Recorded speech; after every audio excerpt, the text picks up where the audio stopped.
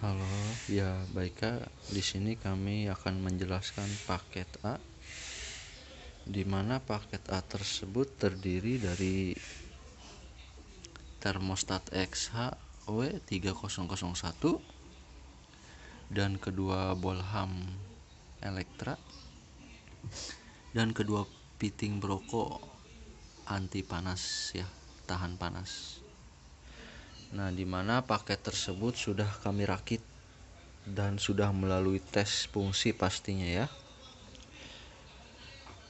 Mesin ko- paket komponen mesin tetas tersebut di sini sistemnya semi otomatis. Bisa berkapasitas 30 40 atau 50 jika ingin berkapasitas 100 bisa ditambahkan ke dua pitingnya ya. Atau dengan kedua lampunya.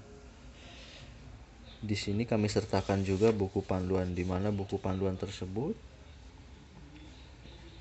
perangkaian cara bikin boxnya ya. Kami sertakan juga